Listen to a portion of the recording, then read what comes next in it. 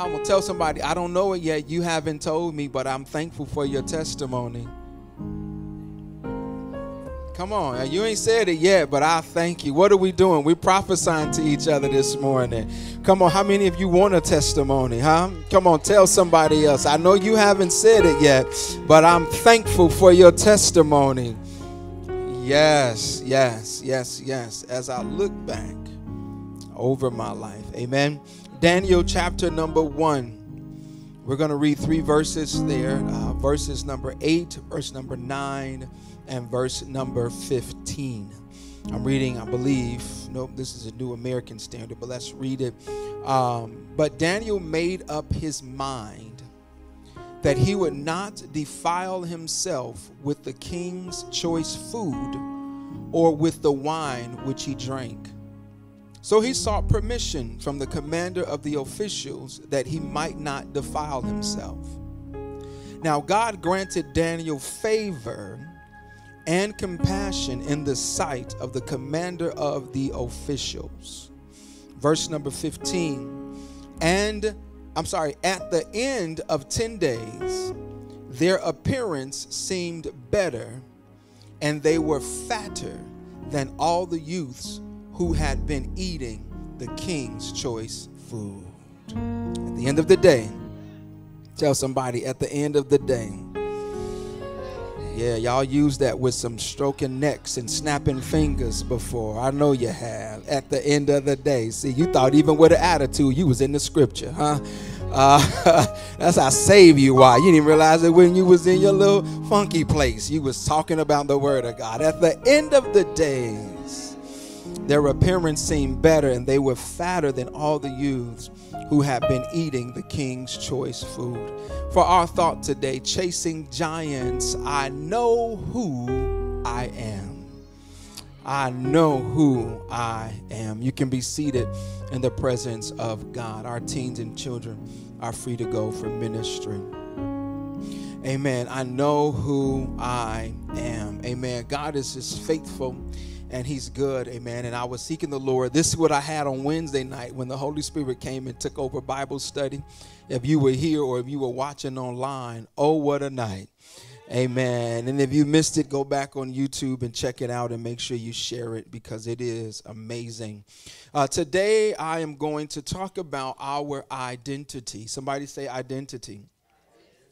I was meditating on our series, Chasing Giants, and I realized that sometimes a giant or some of the things that we deal with or navigate in life have sneaky ways of impacting how we see ourselves. And I believe that it is necessary for us as we continue to engage this teaching series that we understand who we are. And it's important to know that. It's important to have a solid foundation in our own personality and our own oneness and our own uniqueness. It's necessary for us then to be able to identify. Why? Because life happens.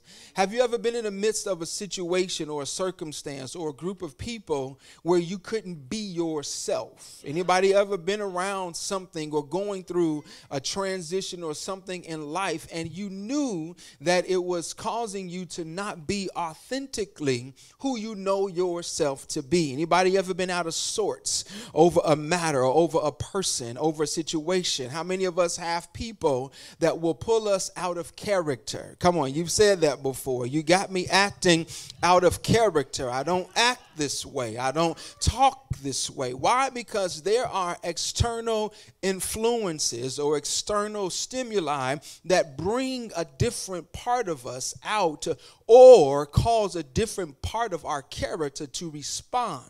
And if we're not solid in our identity, if we're not solid in our character, giants will have a way of triggering something in us so that he can affect our witness.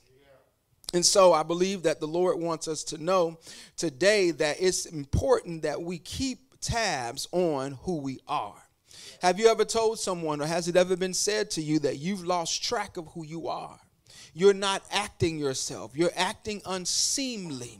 Isn't that what David's wife said to him when he danced out of his priestly garments? And, you know, what, what, what is going on with the king? This is not how kings carry themselves. And, then, and he said, Listen here, I will become, I believe in another part, even more undignified than this. In other words, uh, the identity that the part of my character, David would say, that I am portraying, the part of my character that I am living out in this moment is the part of me who is a grateful praiser. That there is a part of me who understands the impact and the potency or the power of my praise and my worship. And so if my praise makes me seem uh, or act unseemingly, the better question for you is why are you praising God to the point that you are out of sorts? Well, I'm praising God to the point that I am out of sorts because I was out of sorts.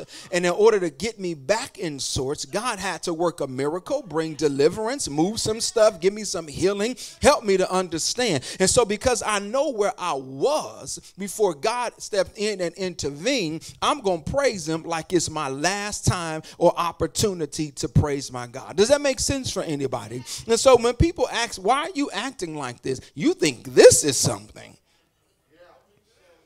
You you you think this is unseemly? Okay. Let me think. Give me 2 seconds to think about the last biggest thing God did in my life. Let me go back real real quick to the moment in my life not 10 years ago, not 5 years ago. How about just on Tuesday when I think about what God did for me and how I was in a low place and it was his word that kept me and picked me up and mounted me up. That by the time I got to church on Wednesday, the Lord spoke a prophetic word to me. Let me act more undignified than this cuz you have no idea why do we let people dictate our response to God? Why? Why do we do that? So let's talk about identity. I know who I am. Identity is important for us to understand in this series or in this season because uh, let's go back to the definition of giants. Lady Brytish, who taught so so amazingly last week, hit on so many points, and she reminded us of this long definition of what is a giant. Amen. Uh, Naya captured it and she shrunk it for me, but I'm going to keep with this one because it's it's meaty, and I want us to get some things from it. A giant is anyone or anything that is adversarial to your purpose, position, posture, assignment, or destiny. A giant's goal is to destroy, derail, disrupt, dilute, or delete, watch this, our character, our witness, our assignment, our destiny, or our reputation before God, Jesus, the Holy Spirit, and others. In other words, giants want to distort your identity so that you forget who you are in the first place. Here's what I've learned about describing ourselves. When you're in those circles, in those groups, right? When you're around other people, y'all warm or cold? Which one? Just fine, hot, burning up. Can we get one notch? Because I'm hot too. Glory to Jesus. I, I won't say what I'm thinking, but if you look around at who's fanning, it might give you a clue. Glory to Jesus. So, you ever been. It's a lot of them. So uh, she said, Really? I'm sorry. I'm so sorry. So it's hot. I'm hot. So, so here we go. Come on. See, I'll pray for the pastor. That's why y'all got to pray. I got to get through this. Amen. So we have to understand how many of you have been in in settings where you have to go around a circle and they ask you, "Who are you?" Sorry, how many of you find difficulty in answering that question? Who are you? The average one of us, when asked who we are, we many times begin to describe or identify ourselves by what we do more than who we really are at our core. Anybody ever experienced that? We define ourselves by what we do. Why? Because the perception is that what you do is indicative of who you are. Now, I agree with that to a great extent because out of your heart, your mouth speaks. Out of your heart, you act. But when someone asks us the question, why do we have to scratch our heads to answer the question directly? I didn't ask you what you do. Hi, Anthony Thomas is your name. Yes, that's my name. Who are you? Well, I'm a pastor, I'm a school counselor, I'm an entrepreneur. This all describes what I do. It leaves the listener to fish in their brains. Well, okay, he's a pastor, so that means he's what? Well, not all pastors are created equal. So I'm still not telling you who I am. Well, he's a school counselor. Okay, that means he's went to school because he went to college. That no, not all college graduates are created equal. So I'm still not giving you my identity. I'm telling you what I do. And it always seems more challenging to answer that question. And so when I know who I am, I know who I am not. When I know who I am, I know who I am not. In other words, because I know who I am, or when I know who I am, you cannot, no one else can ascribe to me my identity. The, the weakness or the problem with not knowing who we are is that when we are in, in areas of our lives lack confidence of who we are, or we don't really know or haven't invested time and energy and effort spiritually to find out who we are in a certain area, we'll gravitate to the person or the thing that identifies most with where we want to be. And we, excuse me, we grab hold of the things of where we want to be, and then we start to assimilate. That's why when your children get out the house, they act a fool sometimes. Because they don't fully know who they are in a certain area of their lives. And for children, it's the parents' responsibility, it's our responsibility to help them identify who they are in those areas. It's difficult. You can't get it all into them in 18 years because they're going to go out and they're going to develop even further in their identity, right? And so we have to hold those things to be true, near, and dear to our hearts. And so I don't give into what others are saying or thinking about me when I know who I am. Even if it's someone speaking into an area of my life that I don't have full confidence of who I am in that season or in that moment, uh, let me not just take what you say you ever had somebody speak over your life? Oh, I see you doing this. I, I, I, could imagine you do this. Oh, okay. Well, I never thought about that. I'm not agreeing or disagreeing, but let me sit with that. Let me see where that fits in the grand scheme of things. Let me pray about that and see what is God saying about that. Does God bear witness to you that I'm that or I could be that? We have to be really intentional about our identity and who we are. We're going to go further. Now, let's define identity a little bit.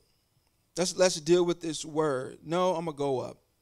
If you go and look at Numbers chapter 13 and verse 33, we've been talking about this, and I told you that I'm intentionally repetitive in this first part of this series. This is when the 12 spies come back, Numbers 13 and 33. And I've talked about this already. It says, There also uh, we saw the Nephilim, uh, and we became like grasshoppers in our own sight and so we were in their sight. Over there, we saw the Nephilim, big people, and we became like grasshoppers in our own sight, and so we were in their sight.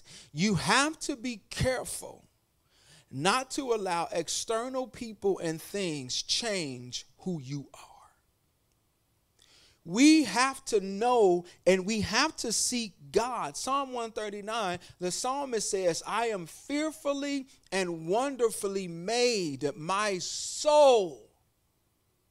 Now, when you know something in your soul, you know it. He says, My soul knows it right well. So here they say, the 10 said, We saw the Nephilim. Watch this. And we became. What does the word became indicate? Come on, I know it's Sunday morning, but let's go to school. What does talk back to me? What does the word became indicate in your mind? Change. In other words, you went, Moses said, go and just see, assess, survey, and come back and tell us what you saw. Moses never said, go into Canaan and change your identity. He never said assess and choose who you will become based on the situation you see. Oh, that's good. Where's Dr. Dixon? Rich, huh? I'm I'm helping I'm helping myself. If y'all don't eat it, I will. You cannot allow what you're in make you change in order to assimilate to that situation. They're big, their stature is larger than ours, uh, but don't become less than who you are because they're bigger than you. How many of you got some challenges in your life that are bigger than you? Are you going to become less than where you already are? Think about it. They were already in a place of comfort and, and authority, and he only said, Go over and assess the land and come back and tell us what you see. So they went over with the capacity. It was all, watch this, uh, winning was in their DNA.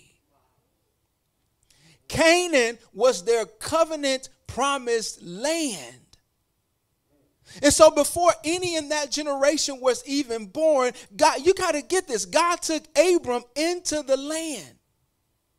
Their forefather walked in the land. He said, Your children not can live here, will. And so they went from a place of ownership, wealth, land flowing, milk and honey, big grapes. You saw all the report, and they became poor. Whew! Because the situation intimidated them.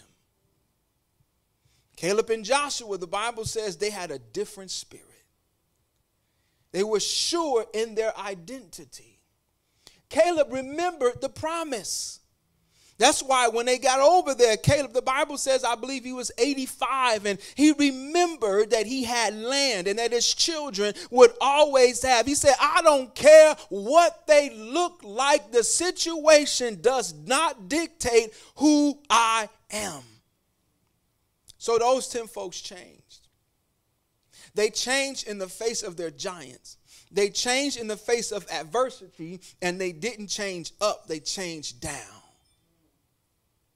Stop assimilating to situations and circumstances that are counter to who you really are.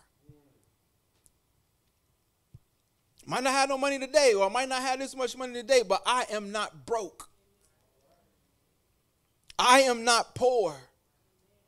I might not have enough. Well, I ain't never saying I might not have enough because God promised to provide what? All of my needs. I may not have what I want the way I want it or when I want it. It does not mean that I'm broke. It does not mean I'm homeless. It does not mean I'm poor. It doesn't mean any of that. It means simply I don't have what I want when I want it. I'm not changing my identity because my bank account dictates dictates that I can't get the truck I want today.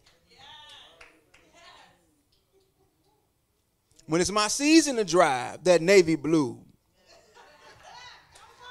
Y'all already know when it's my season, I'll have it. But I'm not changing who I am. You follow with me? And so that's what they did. They became like grasshoppers in their own sight. In other words, the way we see ourselves dictates the way we act. You got to understand that. We trying to figure out why, why folk act like they crazy. They're not crazy. They just don't have a proper vision of who they are. You're not crazy.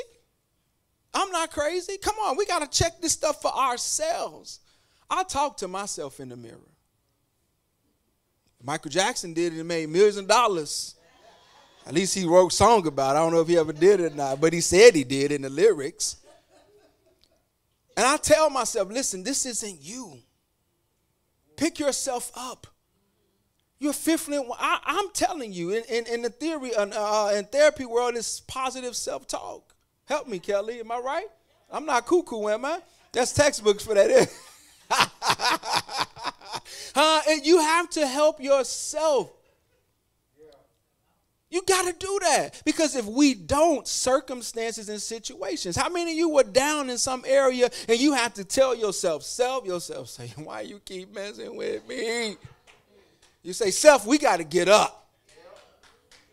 We got to wash our face. We got to put this oil of anointing on our head, and we're going to go out here and we're going to go in the power and the strength of the Lord. So they became like grasshoppers in their own sight. So they changed, they diminished their identity, they became something else, and they projected who they became onto the giants. Those giants never said, Y'all look like grasshoppers. Not according to this text. When you change, the identity of who you are, you change how you respond to your enemy. The Giants won over those 10. They never had to do anything. The Giants won just by pure nature of them seeing the Giants, they bowed out of the fight. How many of us have walked away from fights based on what the situation looked like? And we come up with all these cockamamie excuses as to why we won't engage a fight. Well, I don't feel it in my spirit. I don't, the Lord hasn't told me to do that. The Lord has, well, listen, man, they're about to crack you upside your head. What you need the Lord to say to you? they're about to take your money and your job. What do you need? What word do you need from the Lord? Now I know David, when they came back from Ziklag, the, there was fire. They took their wives and said, Lord, should I pursue? Yeah, you pursue and you'll recover all. I understand that. But sometimes, like, what do you need to do? Defend it. Let's go to 1 Samuel 17b. I'm sorry, 1726b. So they didn't know who they were. 1 Samuel 17, 26. I'll read the whole thing. David spoke to the men who were standing by saying, What will be done for the man who kills this Philistine and takes away the reproach of from Israel? For who is this uncircumcised Philistine that he should taunt the armies of the living God? Now, because David knew to whose army he belonged, it triggered a part of his identity. David said, The armies of the living God. So, in other words, he knew who they were fighting for.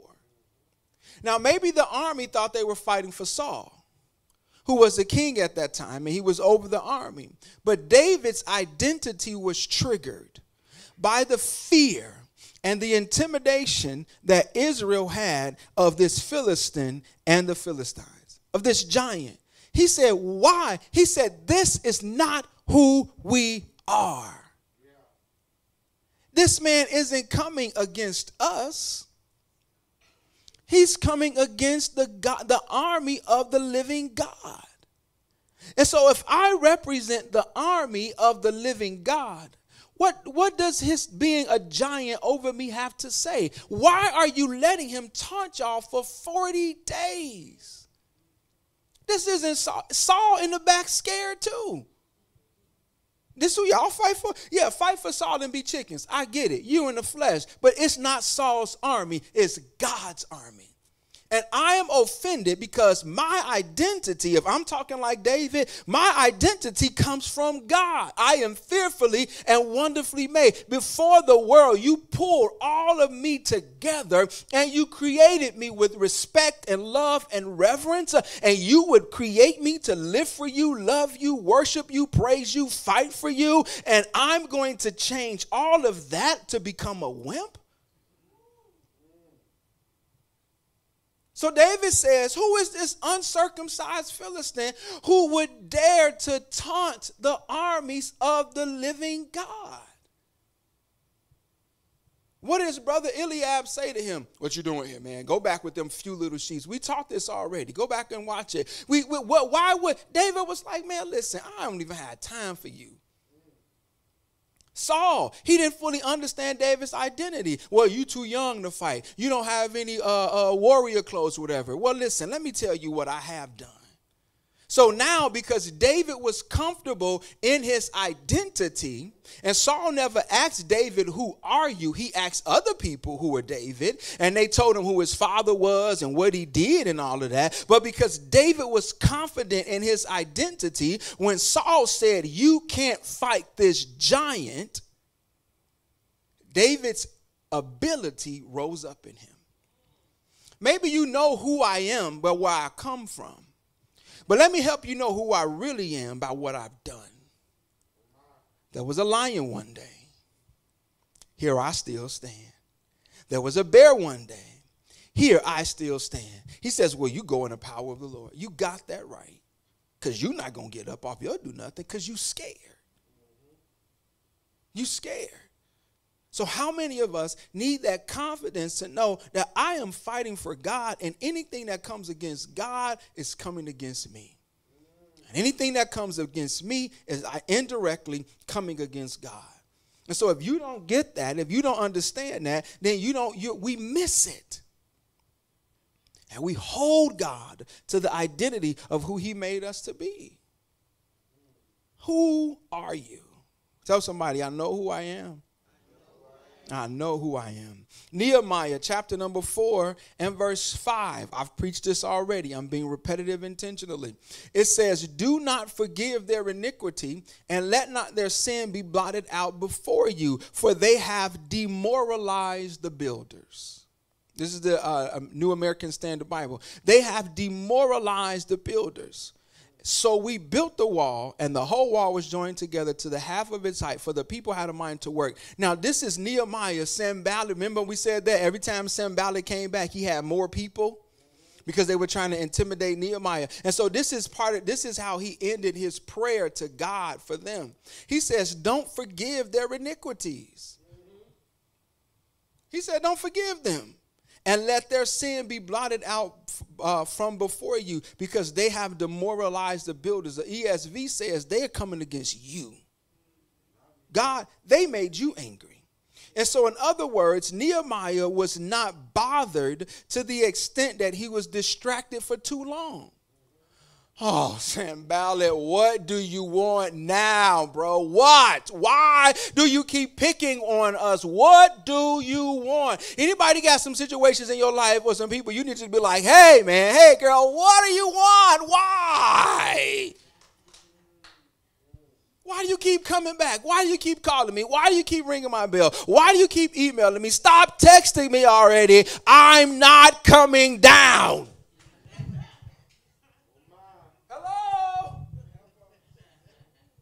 You have to become irritated by your enemies because your identity does not dictate that they can tell you what to do. Nehemiah says, Listen, bro, I'm tired of your foolishness.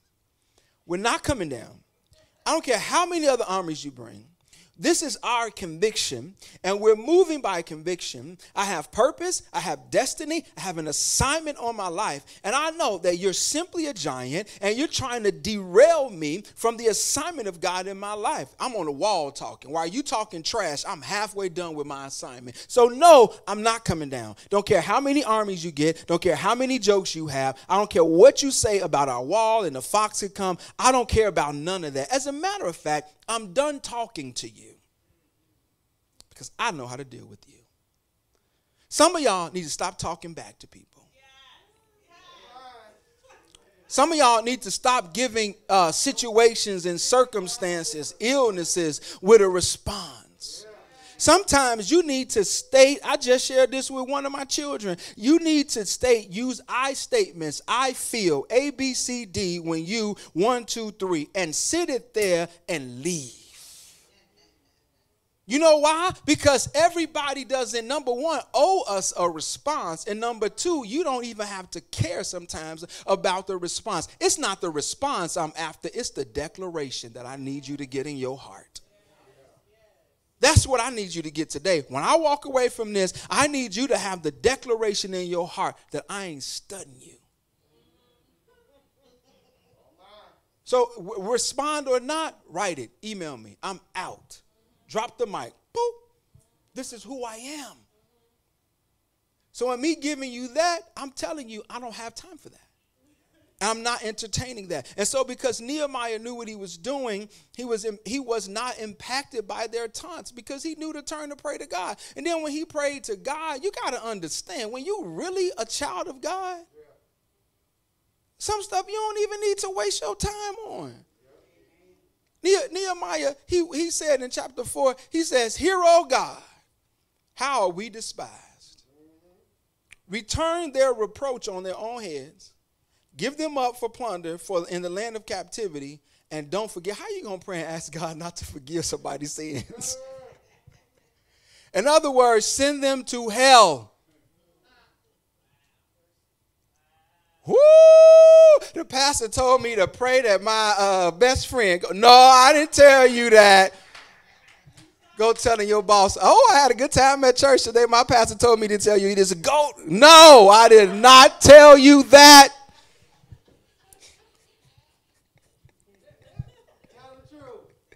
You tell your truth. I ain't telling you to say that now. You so we got to understand. He turned and prayed. And the Bible says, look at verse 6. So we built the wall. We built the wall. So guess what? I'm done. Because I know who I am. Because I know who I am, I, hold, I know who I am not. I am not a quitter. I don't walk away. I don't run from adversity. Come on, I know who I am not. So when you get done, while you down there taunting and complaining, go get eight more armies. We're going to build and pray. By the, by the way, I got conceal and carry, so you better watch your back while I'm working. They didn't have it then. They had their swords. I'm just giving you the Bible in updated language. The Bible said they tell them to get their tools and their weapons. Read your Bible. He said, get your tools and your weapons. So, you know, like you got a FOID card and you got all that stuff. You got, I know y'all doing y'all thing, right? And so sometimes you got to tell the enemy, I'm packing, but I'm working.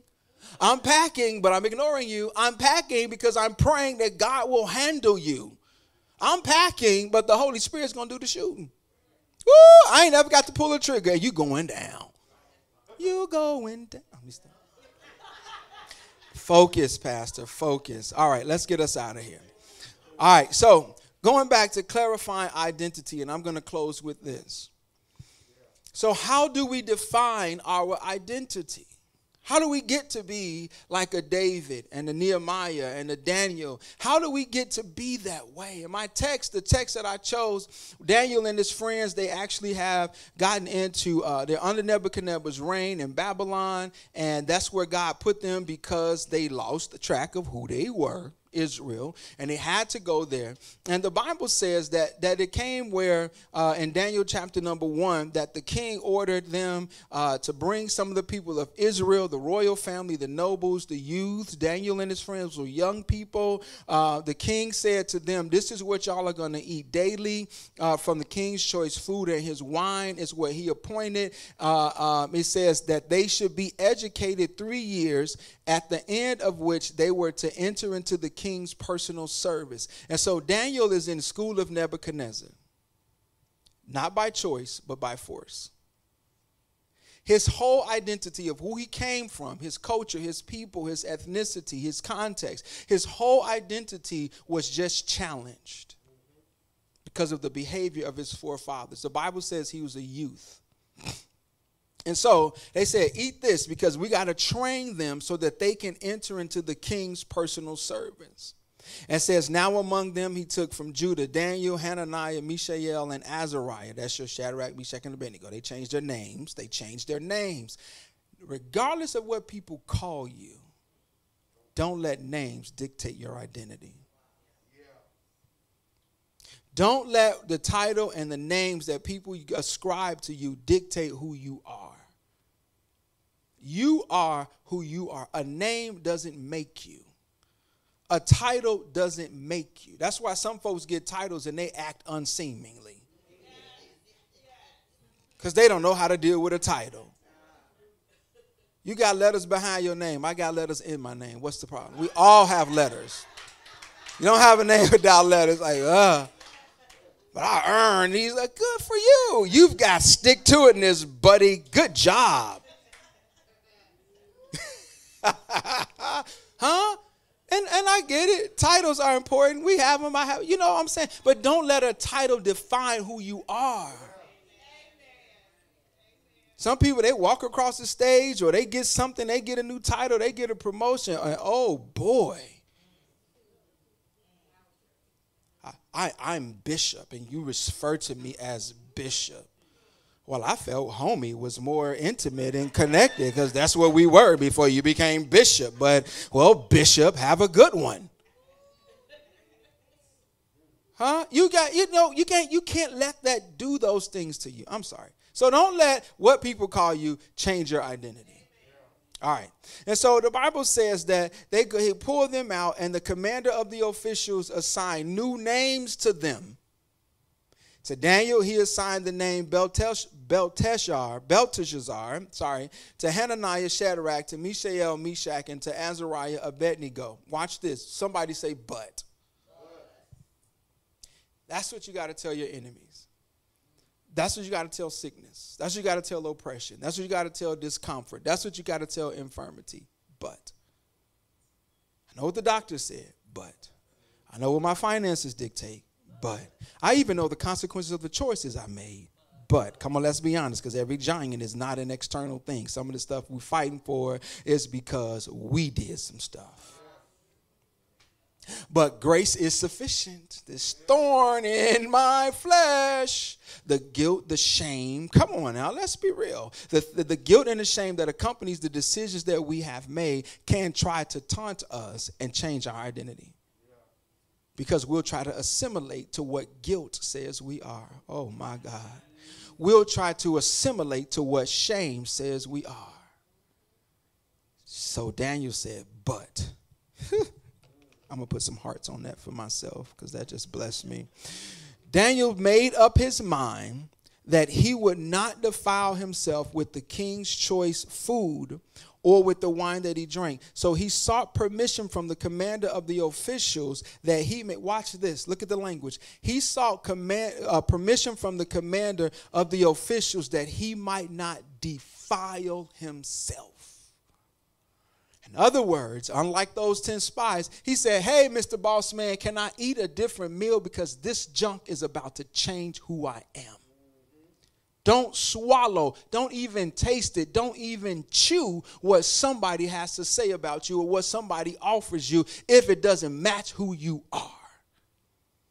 He said, If I eat this, it's going to change who I am. I don't want your stuff to defile me. You know that I'm an alien to Babylon. You know why I'm here, and I know why I'm here. Let's cut the mess. I don't want your food because it's not my custom. It's not who I am. And so he says, man, look, if the king find out, he's going to kill me, blah, blah, blah, blah, blah, blah, blah. God granted Daniel favor. When God gives you favor, when favor is a part of who we are, favor is in our DNA. It's, it's, it's, it's bound up in our hearts. It is what God puts on us to make people who would choose to otherwise identify us change their minds.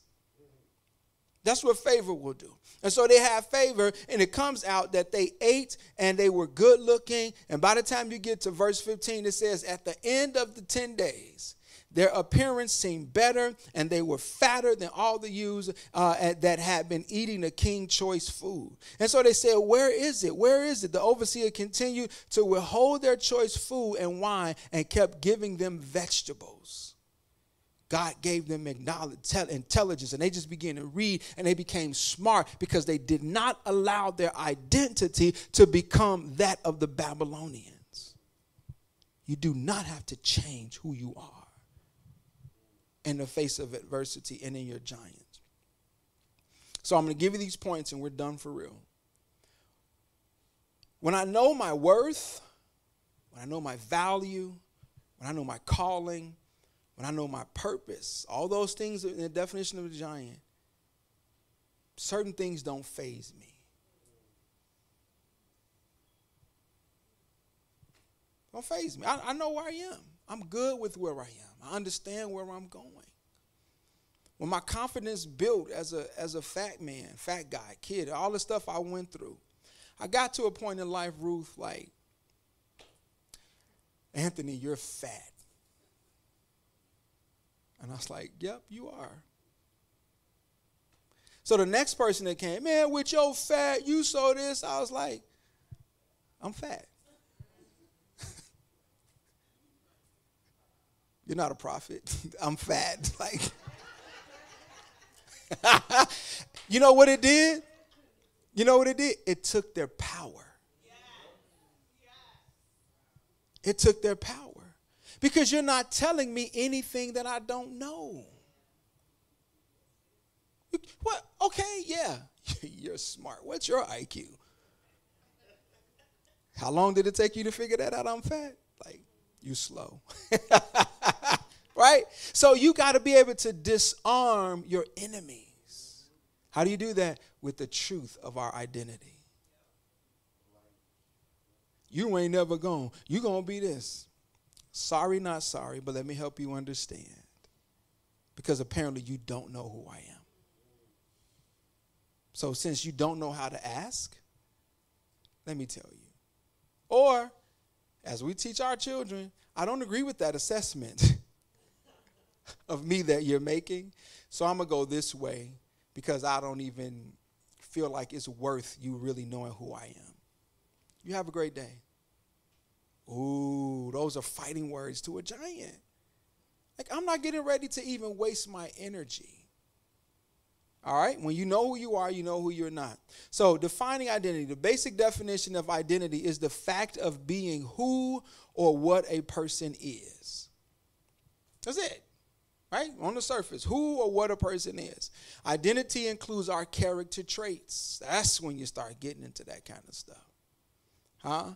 Short tempered, attitudinal, you know, this, that, and the third, and blah, blah, blah, and fun and courageous and outgoing and uh, forgiving and merciful and unforgiving and all those kind of things are character traits. But watch this various constructs and context uh, impact or impede our identity. You could be a certain way, but a context. How many of you know if you stay in a certain context or environment too long, it can impact your character? Anybody you went home, your mother say, That ain't how I raised you. That's not who you are. That's not what we putting you in this house.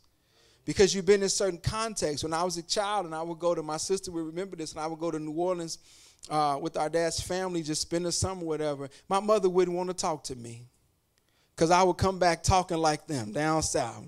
Boy, if you don't get up out of here, I can't have under this. Year. I don't understand what you saying. Come up here talking like them folks down there because it was a it's a context. My accent didn't change who I am. But you got to be careful. So these are things. And then you got to understand that different areas of our lives or that there are different types of identity that we have to be aware of. How many of you know we have a cultural identity? There's an ethnic identity. There's a national identity. That's why Nebuchadnezzar tried to infuse that into those guys because he wanted them to assimilate to their identity. He was training them, he put them because they were young in school to learn how to be the king's servants. And so he was saying, This is our identity, and you need to conform to it if you're going to work here. That's why Daniel said, But uh, um, I'm not going to defile myself. Then we have a cultural identity. How many of you know that there's a professional identity? There's a religious identity. You see certain people out walking down the street on a Saturday morning, you can already say who they are. You see them with gray khakis and a white shirt on a bike. You already got an idea in your mind who they are.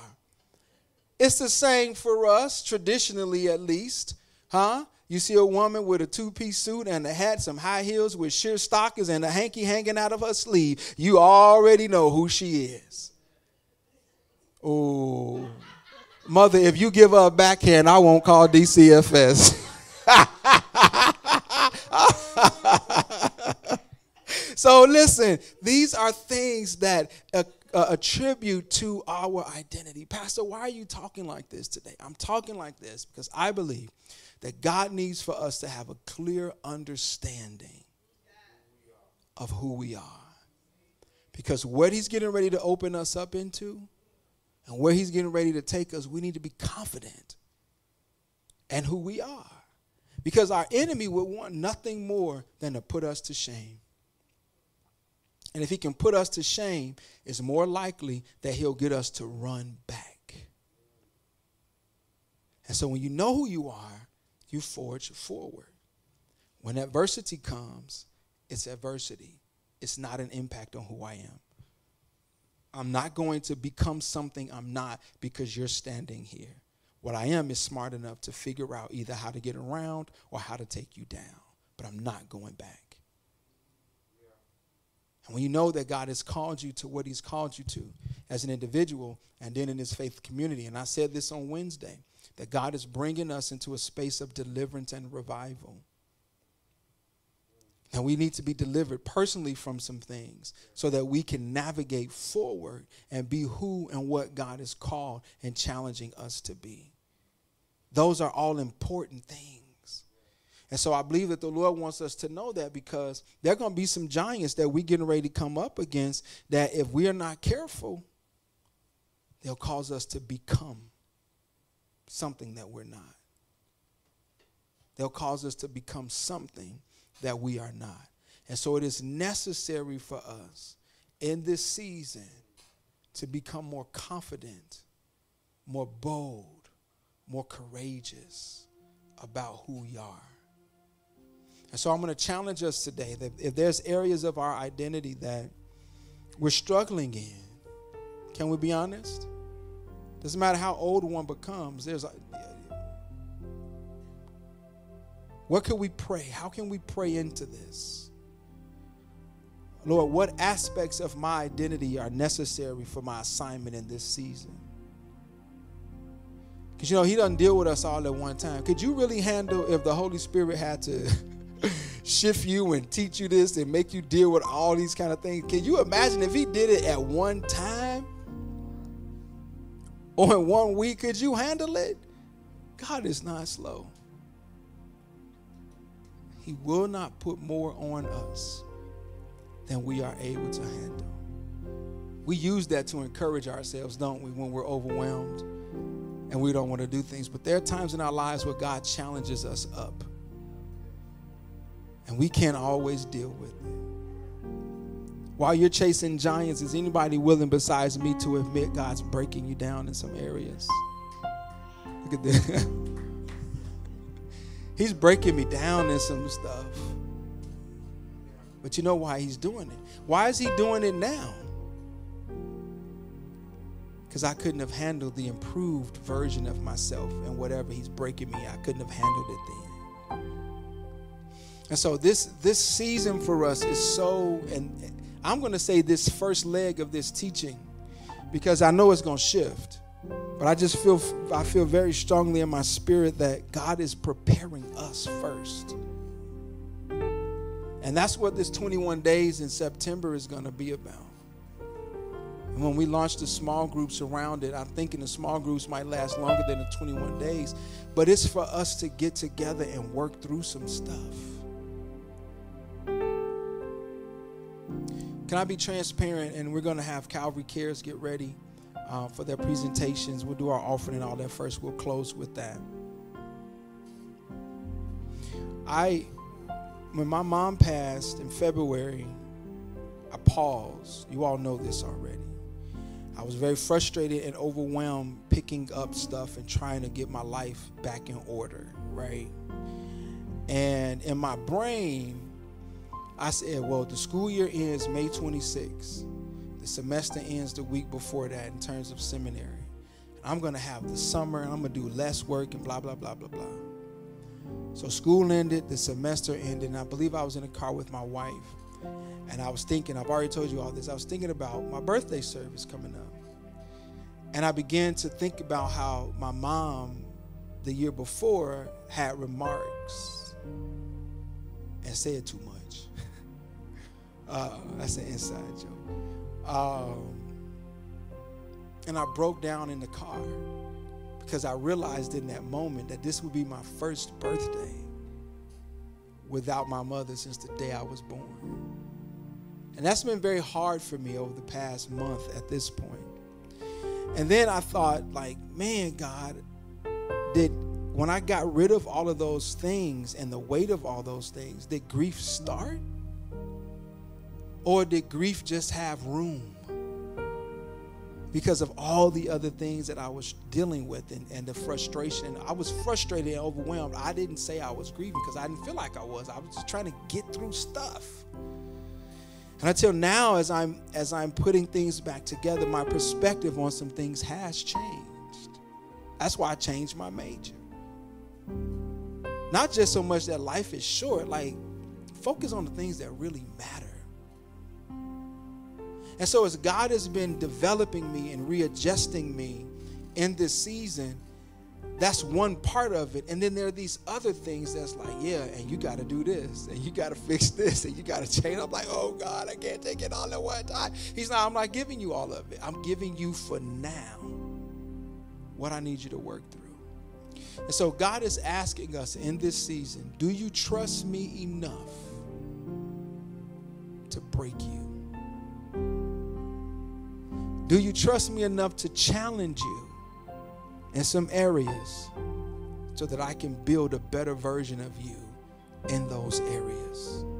Not that I don't, God's not saying He doesn't like us and that He made us. And we're following hard after Him. But He knows our futures, He knows our destiny, He knows where He's ultimately taking us. And so, how many of us can just stand before the Lord in our prayer time, corporately, individually, and say, Lord, just do what you do? I don't understand this. This is painful. It's aggravating. It's fun. It's funny. Whatever your response is to. But how many of us trust God enough to say, do it? Because our faith should say, if it's God, I'm going to come out better, more beautiful, and not physically, come to our text, but spiritually fatter. Because I ain't going to be fat again in Jesus' name. But spiritually speaking, we're going to come out spiritually fatter, wiser, more intelligent, and all of those things. Amen. Amen. Let's pray. Father, we thank you for your word today. And we give you praise. Father, we thank you for the challenge that you're giving us in this series, in this first leg. We thank you, Father, that you are all knowing and that we can trust you. And as such, Father, we pray today in the name of Jesus that as your word has hit us in various ways, that you will let it fall in good ground and that our hearts and our lives will forever be changed. In the mighty name of Jesus. And Father, now I pray for that man, that woman that's not walking with you. Pray, God, for that child, that youth that is not saved today. And I pray for them as I offer them salvation today. Those of you who are watching, those of you who are in this room, if you're not following Jesus, if your identity, if you don't have a spiritual identity that says you are a son of God, then you're not saved. I understand we're saved and we have areas of identity to work out, but if we don't even have the identity of sonship or daughters, we need that. And that's you today, and you're in this room, raise your hand. If that's you and you're online, just type hashtag follow Jesus. Because we want you to be one with Christ. Amen. If you say, hey, I don't have a faith community identity, I don't have a church home, I don't have a place to call home, and you feel led to Calvary Covenant Church, if that's you, raise your hand or put join CCC on Facebook. I don't have YouTube but media team, so if anyone's putting that there, let me know. Amen. If that's you, Amen. Let us know. Amen. So, Father, we just thank you uh, for this time in your word, and we give you praise in Jesus' name. Amen. Come on, clap your hands and give God praise for the word of God.